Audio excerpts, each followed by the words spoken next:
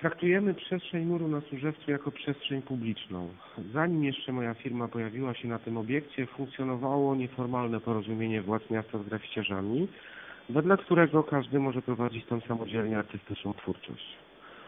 E, Często otrzymujemy takie propozycje, ale odpowiadamy zawsze twardo.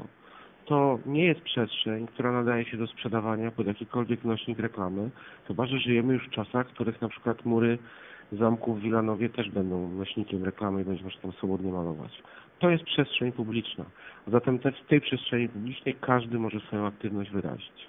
Nie potrzebuje do tego ani mojej zgody, a ja też nie mam tytułu do tego, aby komukolwiek to zabranić. Nie ma tytułu do tego, abyśmy w jakikolwiek sposób ten mur chronili, poza jednym miejscem, które jest miejscem pamięci narodowej, ale to wszyscy szanują. Jeśli ktoś chce tam uprawiać jakąkolwiek formę wyrazu, to ma prawo ją uprawiać. Również Adidas. A to jest pytanie do Adidasa.